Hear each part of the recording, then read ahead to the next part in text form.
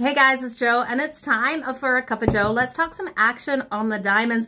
We have the Philadelphia Phillies taking on the San Francisco Giants today, and the Giants will be starting a Ross Stripling. Now, I was so sad when he left Toronto, but the San Francisco Giants are waiting to see him play like the player we saw in Toronto. Now, his ERA is over a seven. He's only averaging a three strikeouts per game, yet to go over five innings in a game so far this season. He is struggling to say the least in San Francisco, and I don't know what the issue is. If he gets back into form, we're going to see great production out of Ross Stripling but I can't trust him here today versus the Philadelphia Phillies. He's got a strikeout number of three and a half to the under.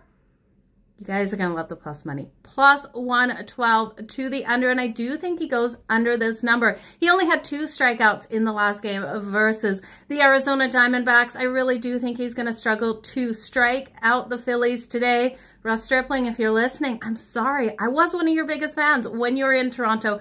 Can't trust you here with the Giants to be able to get the strikeouts on the Phillies today. So you guys, thanks for joining me for a cup of Jo. Take Ross Stripling under three and a half strikeouts at plus 112. You guys have a good one. Keep smiling. Let's make some freaking money.